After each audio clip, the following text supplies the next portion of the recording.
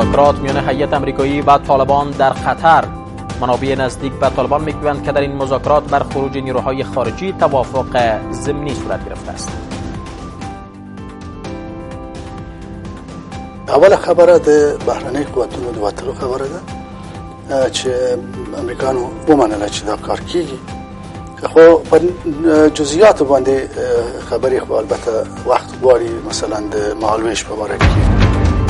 مخالفت بر وارد شدن تغییرات در رهبری کمیسیون انتخابات. رئیس کمیسیون انتخابات می‌گوید وارد کردن تغییرات در رهبری کمیسیون مشکلات را حل نمی کند تغییر سیستم لازمی است اما تغییر چهره ها هرگز درد و رنج و او مشکلاتی که در انتخابات بود ایره معالجه کرده نمی و هشدار سوریه به حملات بالمثل بر اسرائیل. دمشق می‌گوید که شورای امنیت جلب حملات اسرائیل را بگیرد.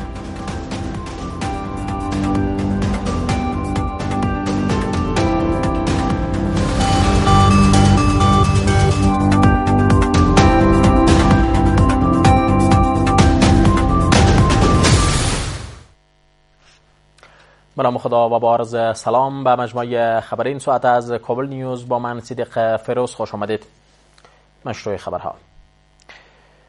در مذاکرات میان طالبان و هیئت امریکایی در قطر بر خروج نیروهای خارجی از افغانستان به گونه ضمنی توافق شده است.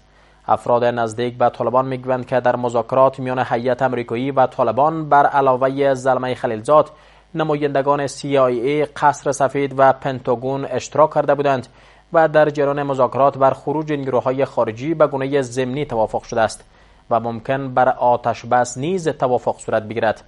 در همین حال زمیر کابلوف نماینده خاص رئیس جمهور روسیه برای افغانستان می‌گوید که امریکا تلاش می‌کند تا در جریان مذاکرات بر دفتر قطر پایگاه های نظامیشان را بقبولاند. ظاهرا مذاکرات هیئت آمریکایی با نمایندگان طالبان مسلح در قطر که برای سه روز ادامه داشت به یک مرحله مهم رسیده است. افراد نزدیک به طالبان مسلح می‌گویند که هر دو جناح در این مذاکرات خواستهای مشخصشان را مطرح کردند و بر برخی مسائل توافق ضمنی نیز صورت گرفته است. آنان می‌گویند که هر دو جناح در جریان مذاکرات بر خروج نیروهای خارجی از افغانستان توافق ضمنی کردند و ممکن بر آتش بس احتمالی نیز توافق شود. اوله خبره د بهرنۍ قوتونو د وتلو خبره ده چې امریکانو ومنله چې دا کار کیږي. خو په جزئیات باندې خبرې خو البته وخت غواړي مثلا د مالویش په باره کې نور مسائل افراد نزدیک به طالبان مسلح می‌گویند که در این مذاکرات هیئت نفری طالبان و هیئت 11 نفری آمریکا علاوه بر زلمه خلیلزاد نمایندگان خاص قصر سفید پنتاگون و سی آی ای سهم داشتند. دا ځل ناسته کې او په خانوی ناستو کې د بهرنیو چارو په نمایندګۍ باندې خلیلزاد د پینټاګون لوړپوړی استازی او د سایویل لوړپوړی استازی او د سپینې ماڼۍ استازي هم ګډون درلودی او فکر کوم چې دا ځل به هم پکې وي. د امریکایانو پړاوی یولس کسان دي چې هلته تللي دي. دا یو لوی ډله ده. طالبان له خوا کسان په دې مذاکراتو کې ګډون لري درې کسان چې باید افغانستان څخه تللی وای د پاکستان مخالفت په نتیجه کې دوی نشو کولای چې شي. در همین حال زمیر کابلوف نماینده خاص روسیه برای افغانستان در رابطه به مذاکرات تأخیر میان هیئت آمریکایی و نمایندگان طالبان مسلح در قطر می‌گوید که آمریکا تلاش می‌کند تا پایگاه های نظامیشان را در افغانستان از طریق مذاکرات بر طالبان مسلح بقبولانند. امریکا در مذاکرات قطر تلاش می کند تا موجودیت پایگاه های نظامیش را در افغانستان بر طالبان مسلح بقبولاند. پذیرفتن این مسئله تا هنوز از سوی طالبان مسلح روشن نیست. مذاکرات میان امریکایی ها و طالبان مسلح تا هنوز در مرحله ابتدایی آن است و جزئیات آن نشر نشده است. منابع نزدیک به طالبان مسلح می‌گویند که اگر نتیجه مذاکرات قطر میان طالبان و آمریکا مثبت باشد احتمال آن وجود دارد که در آینده نزدیک میان حکومت افغانستان و طالبان مسلح آتش بس نیز اعلام شود. اما روز گذشته شورای عالی صلح از سفرهای پیهم زلمه خلیلزاد به منطقه ابراز نارضایتی کرد. و از وی خواست که این سفرهایش را دیگر به پایان برساند. رئیس کمیسیون انتخابات می‌گوید که آوردن تغییرات در سیستم کمیسیون حتمی است اما در رهبری این کمیسیون تغییرات نمیآید. عبدالبدی سیاد می‌گوید اگر در رهبری کمیسیون تغییرات بیاید به جای حل مشکلات مشکلات تازه ایجاد خواهد شد. کمیسیون انتخابات در مورد بودجه انتخابات آینده اظهار نگرانی می کند و می‌گوید که حکومت و متحدان بین المللی در این بخش به کمیسیون اطمینان ندادند. در همین حال برخی منابع می‌گویند که رئیس جمهور غنی تمامی کمیشنران کمیسیون انتخابات را ممنوع الخروج اعلام کرده است پس از نشر گزارش ها در رابطه با تغییرات در رهبری کمیسیون انتخابات رئیس این کمیسیون با این تغییرات مخالفت جدی نشان می دهد. عبدالبدی سیاد در یک نشست خبری گفت که تغییرات در کمیسیون های انتخاباتی به سطح سیستم صورت می گیرد اما اظهارات در رابطه با تغییرات در سطح رهبری نادرست است و اگر این کار صورت بگیرد مشکلات زیادی ایجاد خواهد شد. به نظر کمیسیون مستقل انتخابات و رهبری کمیسیون مستقل انتخابات تغییر سیستم لازمی است اما تغییر چهره ها هرگز درد و رنج و او مشکلاتی که در انتخابات بود ایره معالجه کرده نمی‌تونه.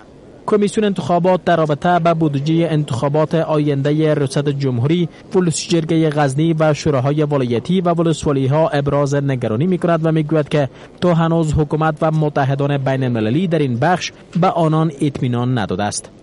نگرانی کمیسیون مستقل انتخابات در یک جهت است که هم دونرای بین‌المللی و هم حکومت افغانستان به شکل جدی باید در رابطه با بودجه انتخابات ریاست جمهوری که در اوجه ما چهار انتخابات داریم خصوصا در ولایت غزنی در اینجا به زودترین فرصت به کمیسیون باید اطمینان داده شود.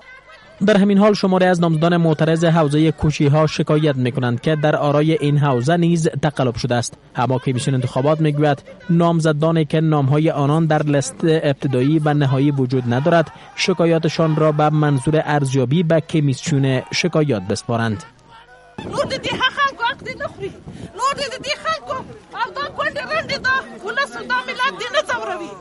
د خلکو رای باندې دې محق نه کوي تبادله نه کوي د خلکو کسایی که به پارلمان را پیدا نمی‌کنه یا در لیست ابتدایی کمیسیون مستقل انتخابات نام خود نمی‌بینه خواهش ما از اونایی است که حق خود از طریق مجرای قانونی مطالبه کنه نه از طریق مظاهرات که مردم افغانستان اذیت کنه.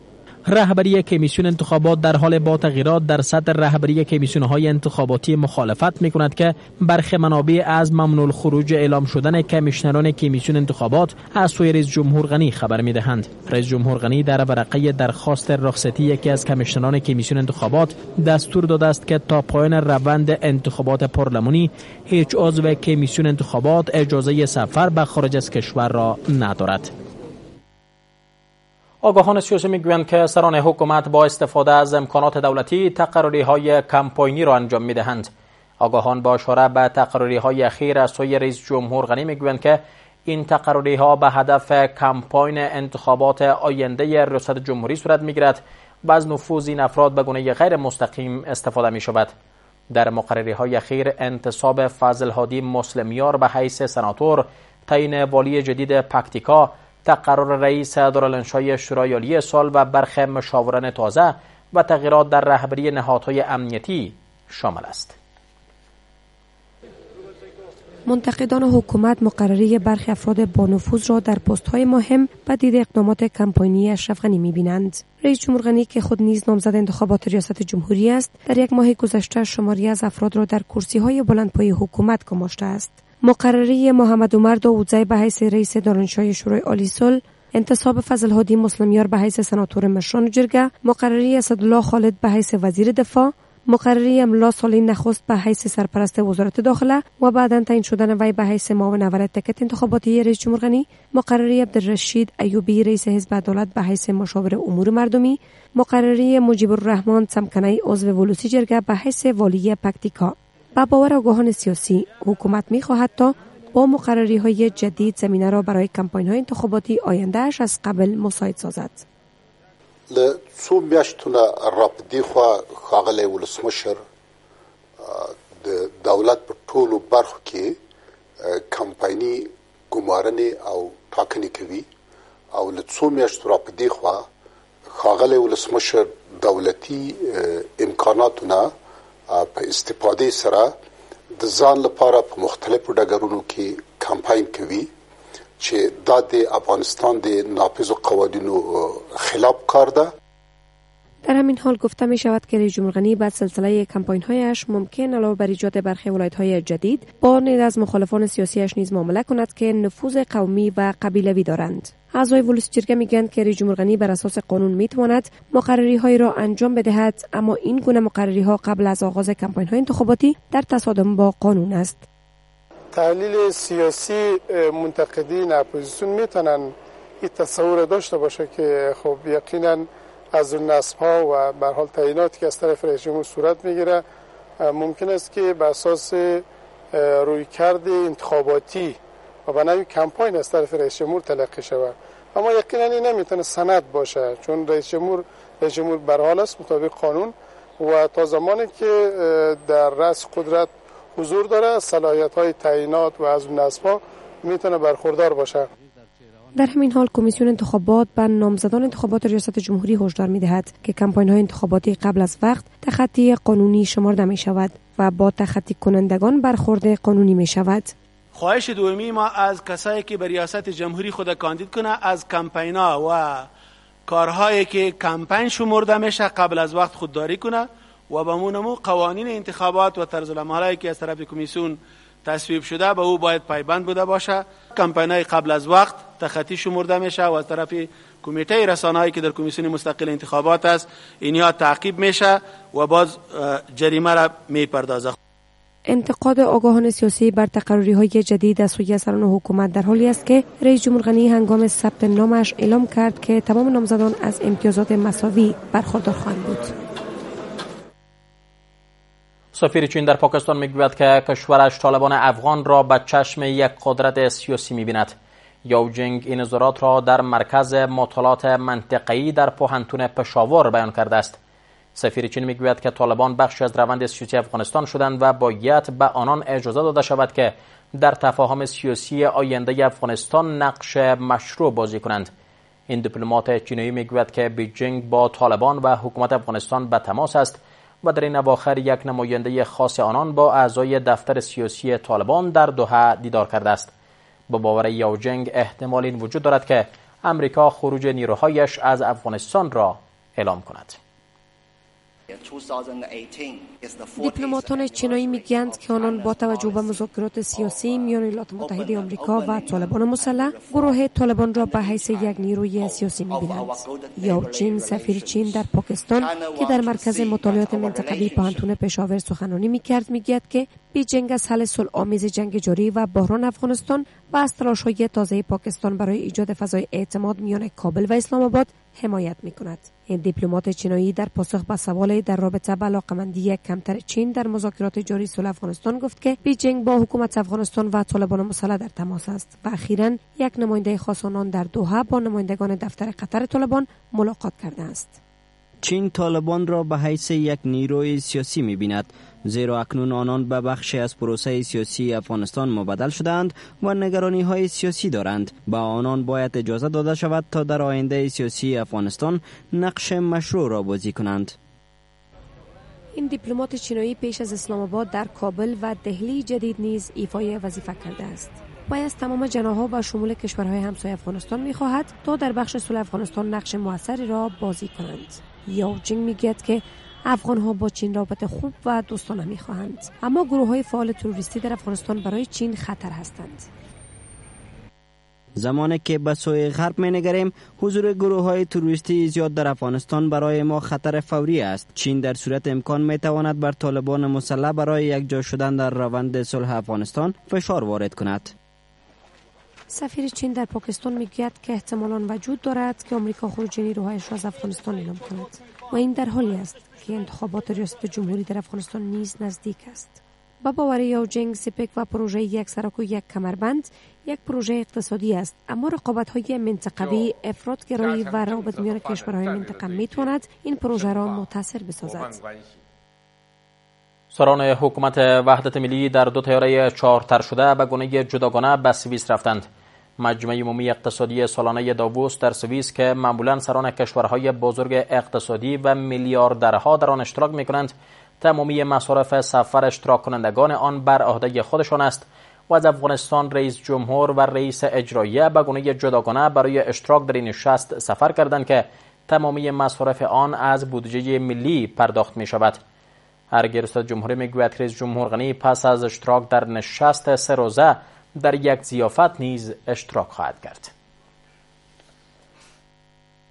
در حالی که رئیس جمهور غنی بر صرفیه جویی مصارف اداره های دولتی تاکید می کند به همین هدف شماره از اداره ها را نیز با هم مدغم کرده است سران حکومت وحدت ملی برای اشتراک در نشستی که ربط اندک و یا هم هیچ ربط به افغانستان ندارد با دو تیاره جداگانه چارتر شده سفر کردند. رئیس اجرایی یک روز پیش از آغاز نشست بین المللی اقتصادی به شهر داوس سوئیس رسیده است و رئیس جمهور غنی نیز صبح روز چهارشنبه در رأس یک هیئت بلند پایه به سوئیس سفر کرده است. ارگ ریاست جمهوری می‌گوید که رئیس جمهور غنی در روز سومی این نشست اشتراک می کند و پس از آن در یک مهمانی نیز سهم خواهد گرفت.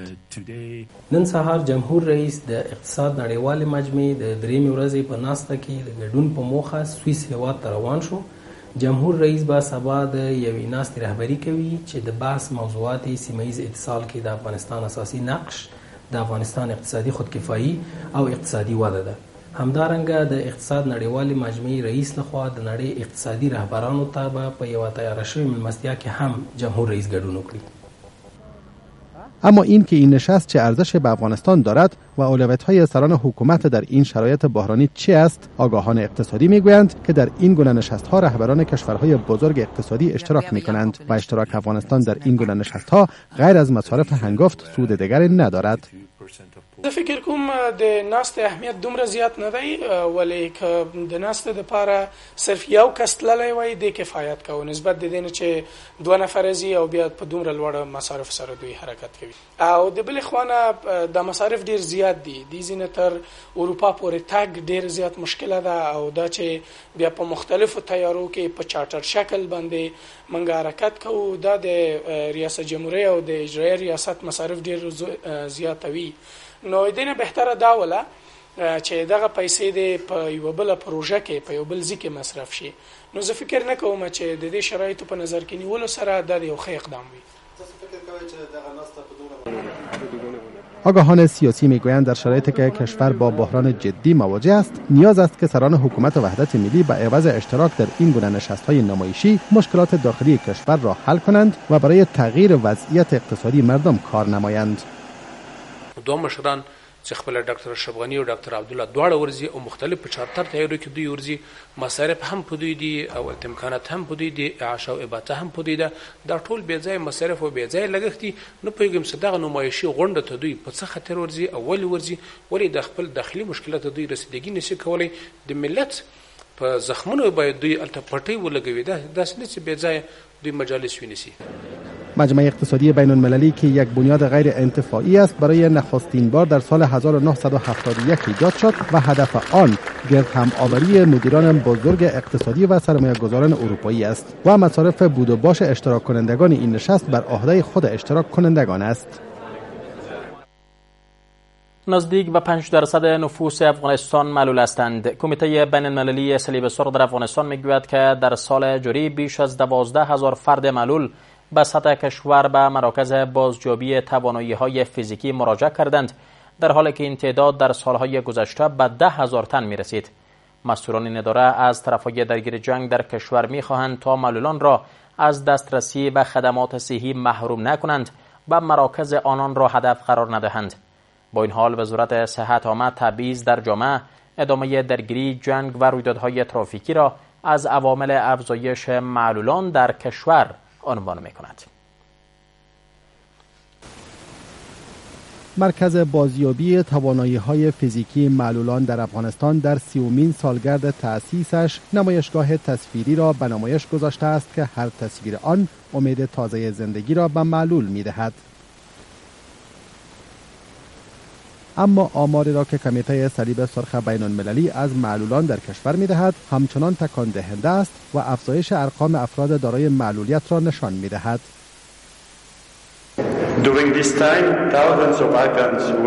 سالانه به گونه اوسط ده هزار فرد معلول به مراکز ما مراجعه می کنند اما در سال 2018 میلادی این آمار به دوازده هزار افزایش یافته است و از آنجا که اشخاص تازه بر این فهرست اضافه می شوند نیاز به کمک های بیشتر است. با این حال وزیر صحت عامه می‌گوید نزدیک به 5 درصد نفوس افغانستان را معلولان تشکیل می دهند اما آنچه باید جلو آن گرفته شود تبعیض در برابر این افراد در جامعه است. با وجودی که ارقام دقیق در افغانستان موجود نیست اما می‌تونیم بگوییم بین 3 تا 5 فیصد نفوذ ما در افغانستان از معلولیت رنج می‌برد.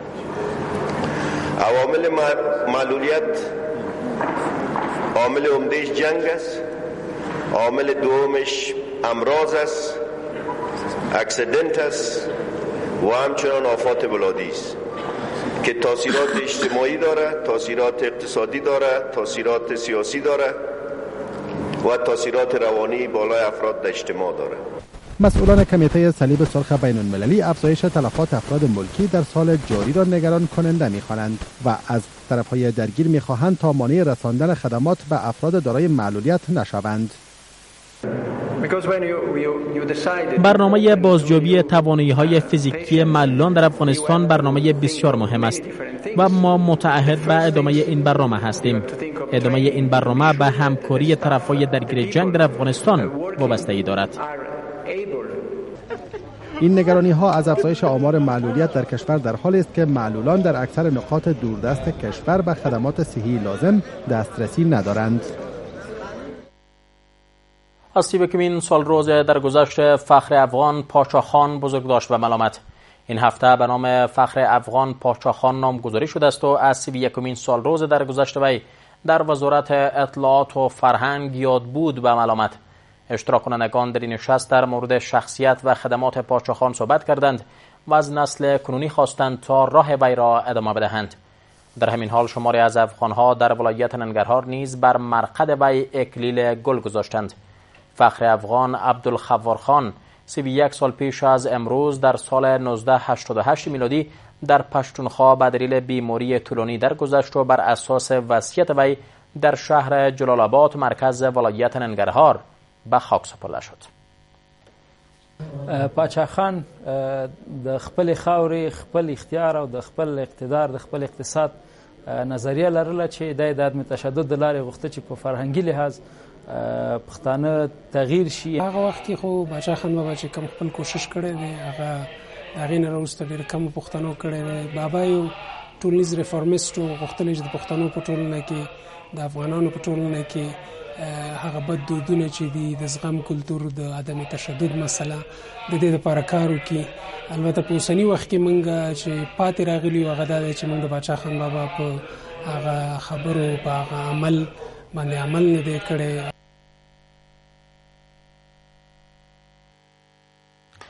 بیننده خبرهای خارج از کشور پس از این بخفا باشید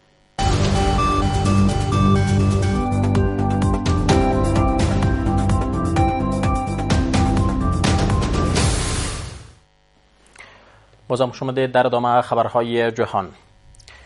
دمشق و حملات متقابل بر ضد اسرائیل هشدار داد. حکومت سوریه گفته است که اگر شورای امنیت سازمان ملل متحد از تخطی های فضایی اسرائیل جلوگیری نکند این حق مشروع آنان خواهد بود که به هدف دفاع از جانشان پایگاه های هوایی تلاویف را هدف قرار بدهند. اسرائیل پس از آغاز جنگ داخلی در سوریه بر این کشور حملات هوایی انجام می دهد و در این اواخر حملات آنان بر اهداف نظامی جنبش حزب الله و ایران در خاک سوریه متمرکز است.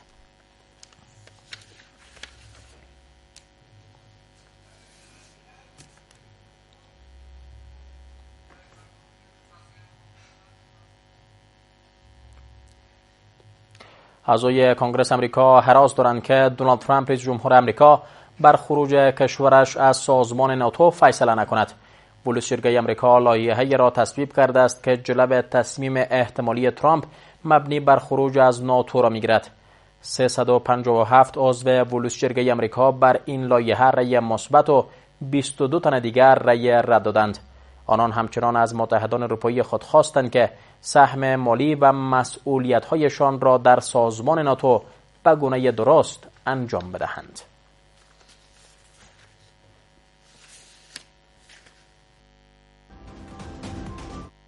از همراهیتان در ادامه بیننده دیگر برنامه های کابل نیوز باشید. وقتتان خوش خدا نگهدار.